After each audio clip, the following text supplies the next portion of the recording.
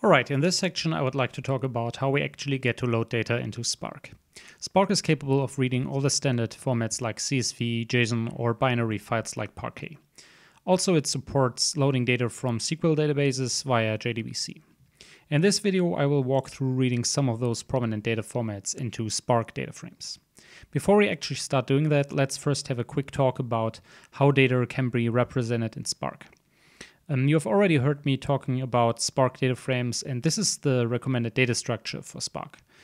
It is very intuitive to work with if you already know about pandas, R data frames, or SQL. Um, there's also another low level data representation called RDD, or Resilient Distributed Datasets. However, it is rather unlikely that you're going to use those, and since the official Spark handbook, Spark the Definitive Guide, recommends using data frames, we will stick to those. Um, next, let's talk about where you can actually store data.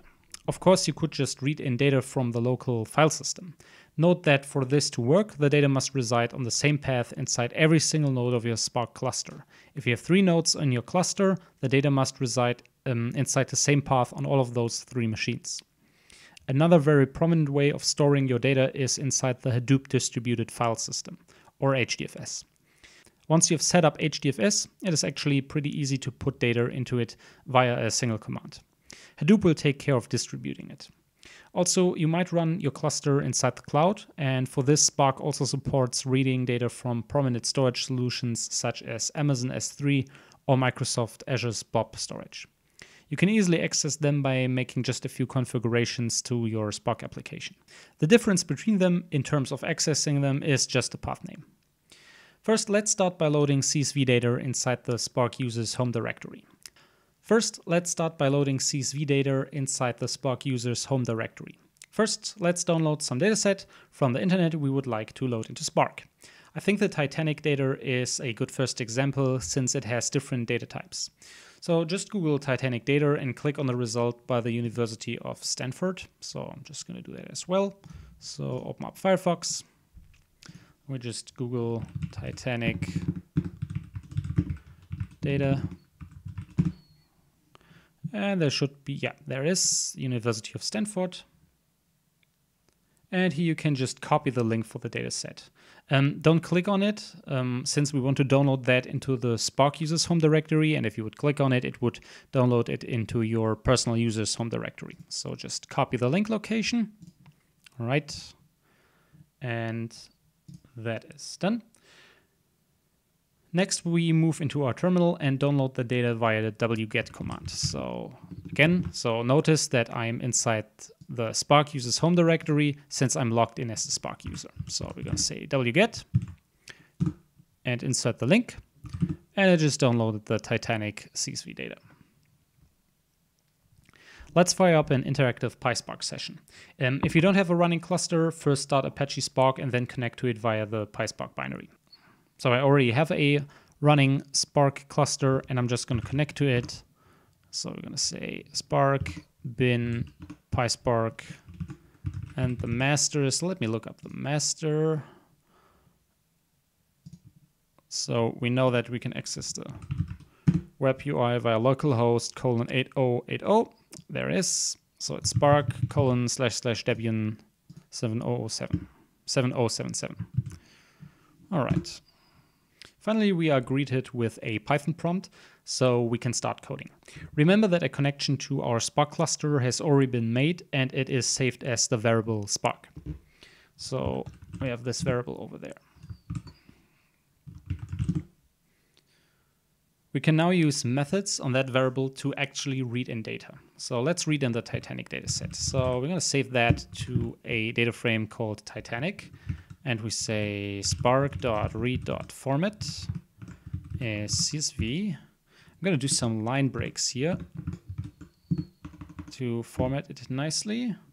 Then we set the first option, which is separator. And that is a comma.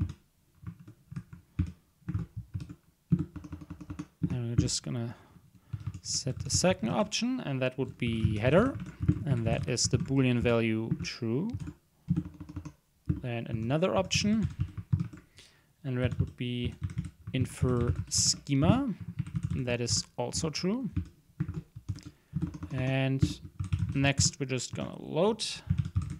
And here I put in the file path to our Titanic CSV file. All right. So it's loading.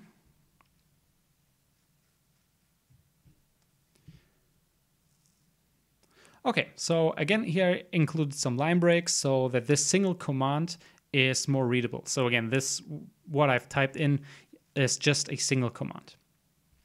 Now, first we are calling the Spark variable.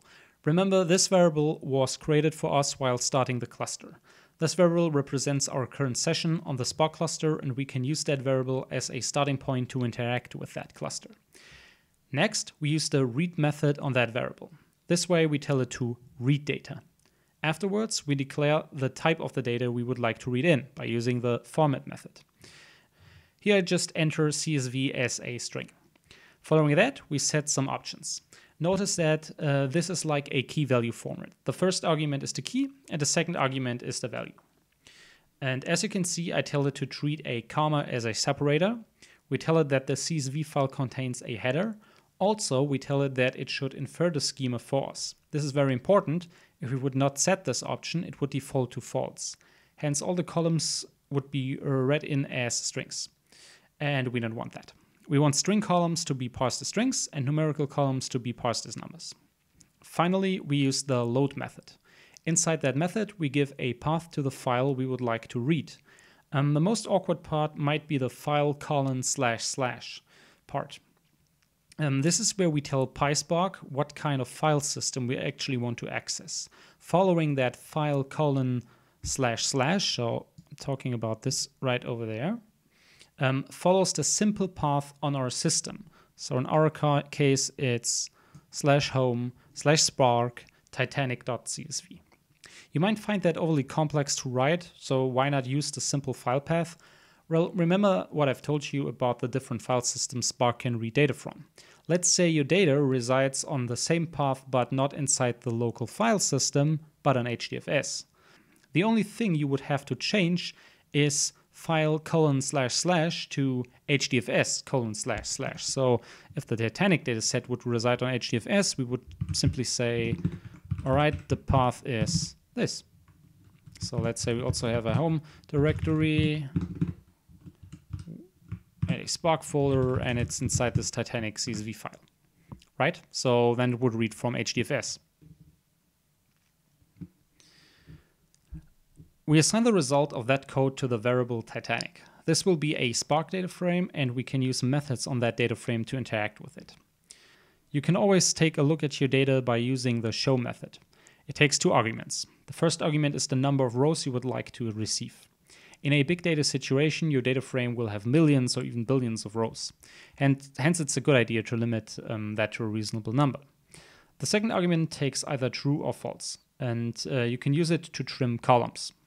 If you have too many columns to show properly on your display, you can tell Spark to just cut them off. So I'm not going to set any arguments since I'm fine with the defaults. So let's take a look at the data. All right. Notice that Spark uses lazy evaluation. That means when you enter a PySpark command, it might perform suspiciously fast. The reason for that is that Spark will execute the command only when it really has to. For example, if you ask Spark to show data.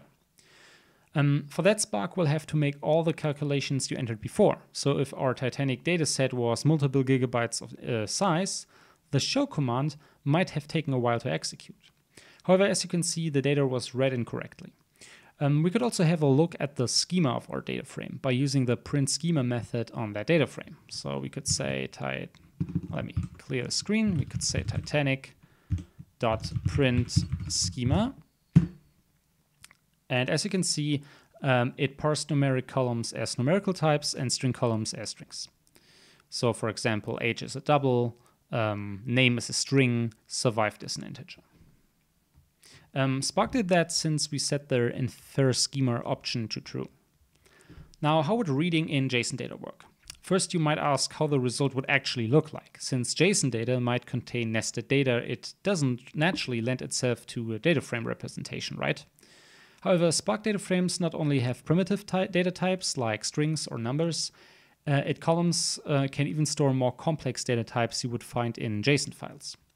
Let's first create an example file inside the Spark user home directory. So I will open up a new terminal, log in as the Spark user. So we are now inside the Spark uh, home directory and we will create a new file. So we're gonna just call it example.json and we open that with Nano. Okay, so inside that JSON, I will now enter some data. And this might be the result of an API call, for example. So I'm going to enter square brackets and then follows a dictionary. Name, John Doe. Then job, and that is another dictionary. So the title of his job is manager. His salary is, let's say, 4,500. And his hobbies are, and that is a list. So it could be swimming and music.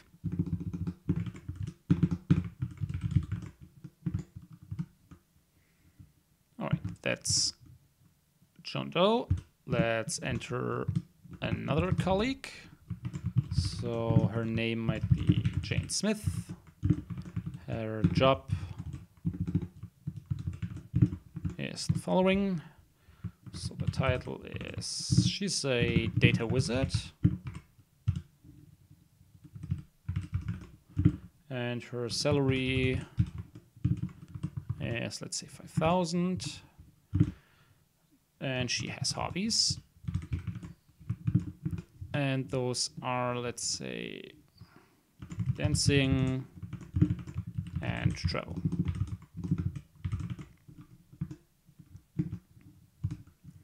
All right let's enter another one. So his name is Alex Miller. His job is he's a TPS report designer. His salary is 4800 oops. And he has hobbies.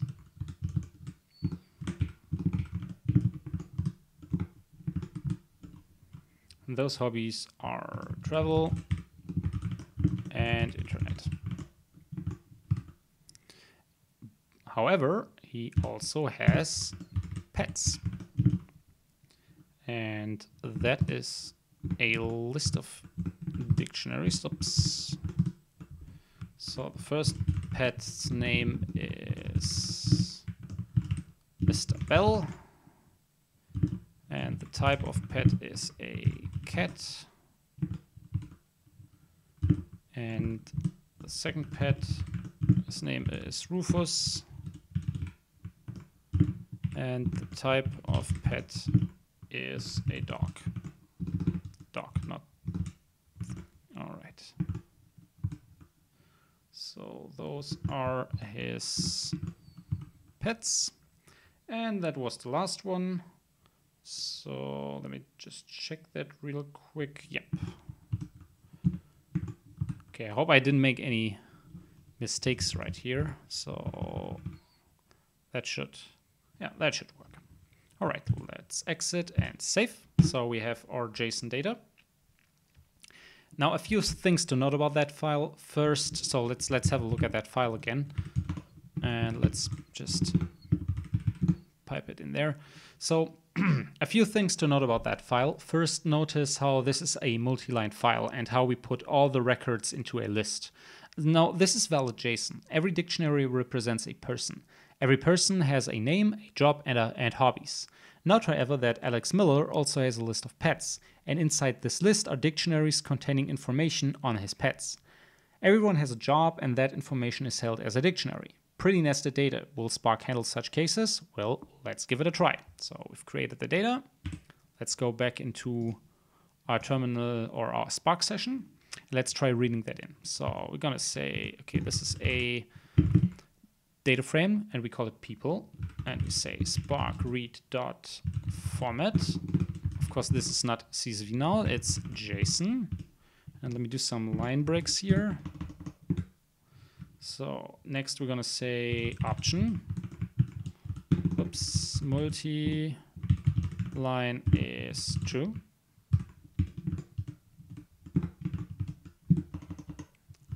Then option uh, oh, sorry, no option. I'm just gonna load the data and it's located, of course, on the file system. It's in the home directory of the Spark user and it is called example example.json. All right, let's read in the data and let's show the data.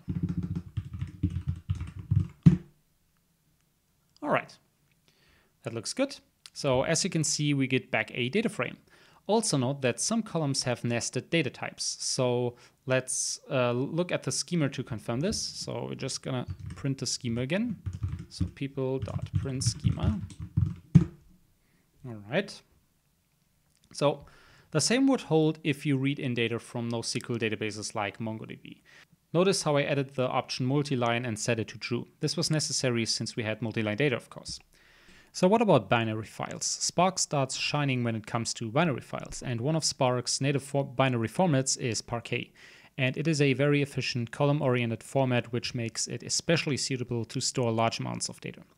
And we can give it a try by loading some example data from the internet. Now go ahead and Google um, example Parquet files, and I'll do that as well. So we're gonna say example Parquet files. And there should be a GitHub link. Yep, right over there. And there's basically some example user data. And we can copy the download link for those. So just gonna take the first one and then I just click on the download link and say copy link location. Go into the shell that brings up the bash shell where we are inside the um, Spark users home directory and then I just download the link via the, or download the data via the wget command, right? That was downloaded. So let's do that for all of them. Let's also get two, three, four, and five. So copy link location, wget. Let's get that. Let's do the same for the third part copy link location, wget. Let's take the fourth part.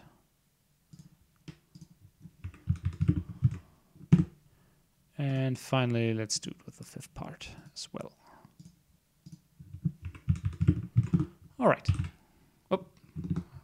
So if we ls, we see we have user data 1.parquet, 2.parquet, 3.parquet, 4.parquet, and 5.parquet. So all the parquet data. Now let's put that into a folder. So let's create a folder called user data and let's move that into the user data folder.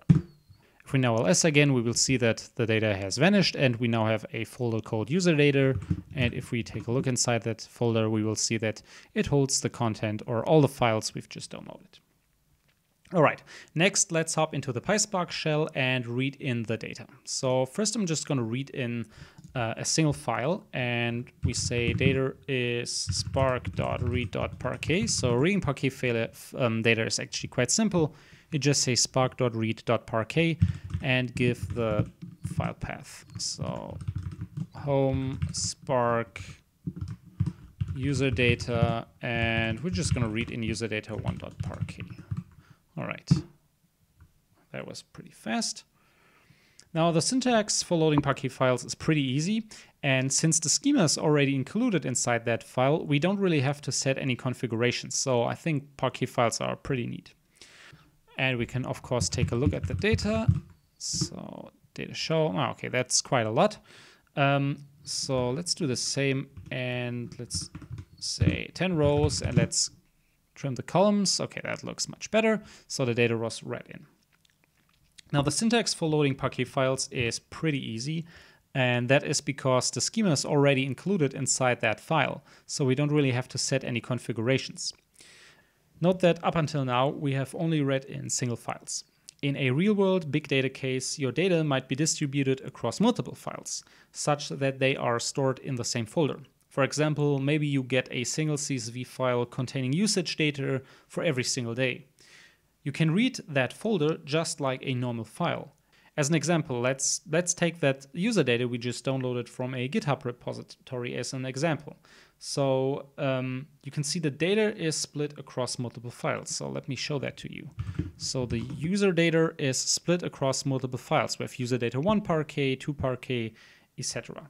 So we can read in the folder user data just as we would read in a file. Again, the user data folder is not a single file. It is just a folder containing multiple files where the schema is always the same.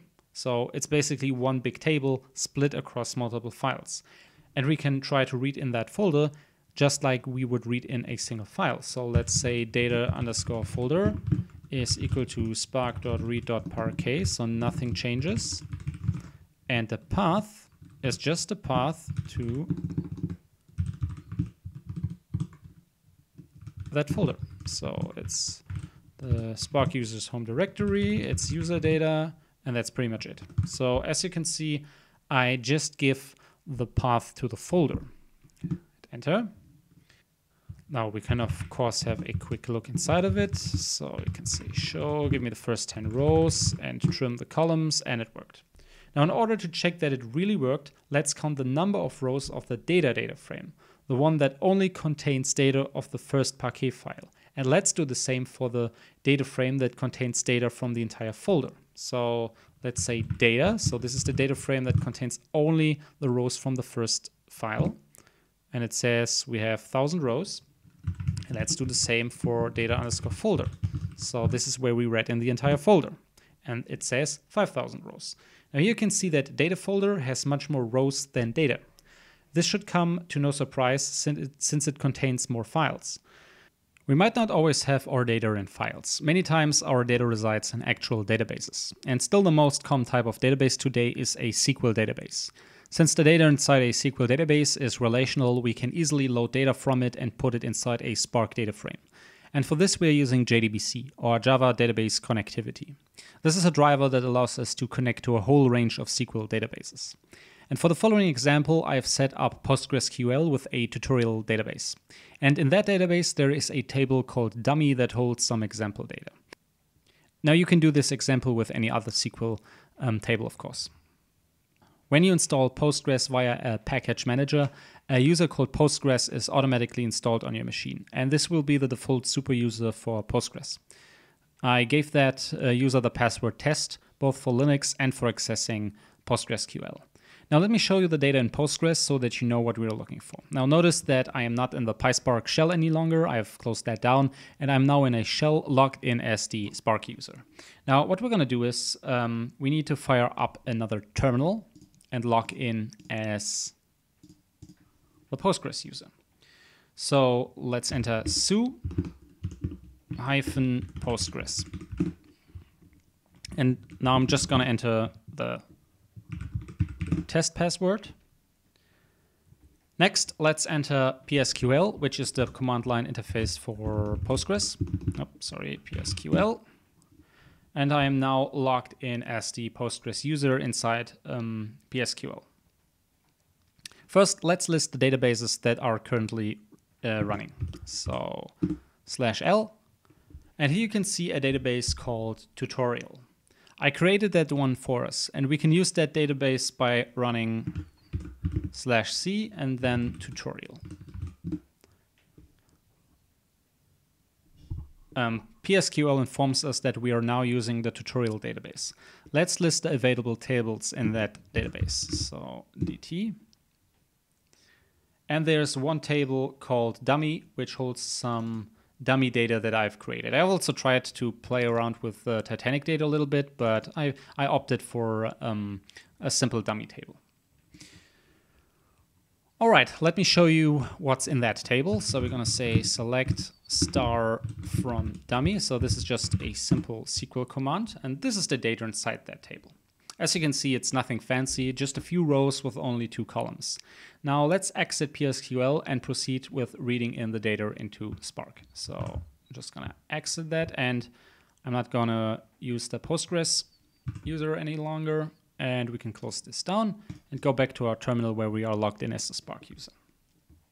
Now, go to the web browser and go to the following web page, https colon slash slash jdbc dot postgresql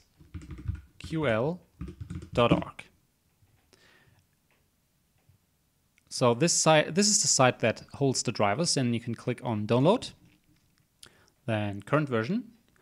And we're just going to download the most up-to-date version and we are using JDBC 4.2. That should work. Right click and then just copy the link location. All right, can close that down. And I would just enter our known wget command and insert the link. So it's downloading a jar file. As you can see, we are downloading a jar file which contains the package Java code. Now, when we are creating our Spark shell, we must point it to the JDBC driver. All right, let's start our PySpark shell. So for that, I'm just going to start the cluster again because I closed that one. So I'm to say spark sbin start all. If your cluster is still running, you can, of course, just um, skip this step, but I've closed mine down.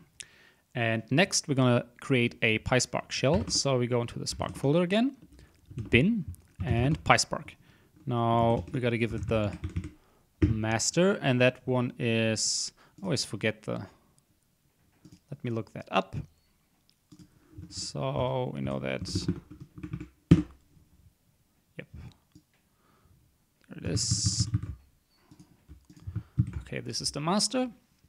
Okay, so if I would hit enter now, it would create a PySpark shell on my master, which would work. However, we need to include the jar that contains the JDBC driver. And you do it like this. So hyphen hyphen jars, and then just give the path file to our, oh, I should, I should have a look how it's actually named. So there it is. It's the PostgreSQL yada yada yada dot jar file. So again, so I'm gonna fire up PySpark. The master is located at this URL. Then we gotta include the jars. We do that by jars and then give it a path to the jar file. All right, hit enter.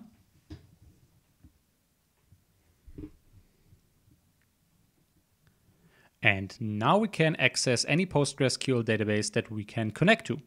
And the syntax to do that is actually pretty similar to what you've already seen. So how would I load the SQL table uh, containing the dummy data? Well, it's actually pretty simple. Let me clear the screen for you.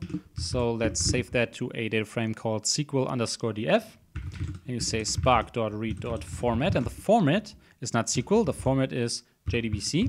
I'm gonna do some line breaks here then the first option we're going to include is the URL to our Postgres server, and that would be JDBC Postgre colon PostgreSQL colon colon slash slash localhost since it's running on localhost. It's not running in the cloud, it's running on my PC on port 5432. And then we put in a slash and the name of the database we want to use. We want to use the tutorial database. Right, some more options. So the next option we're going to include will be db table. That's the name of the database table we want to access in our database. And we are accessing the database tutorial and we want to have the table dummy. All right, next option, the user we want to log in as, and that would be Postgres. So we're using the super user account. And remember, I set the password to test. And whoops, one last option, and that would be the driver we want we would like to use. So driver is org.postgresql.driver. And the last command, we tell it to actually load the data. All right, so the data gets loaded and we now have a Spark data frame called SQL underscore df. Now let's peek inside that data frame to check that everything has worked out as we have hoped. So SQL underscore df dot show.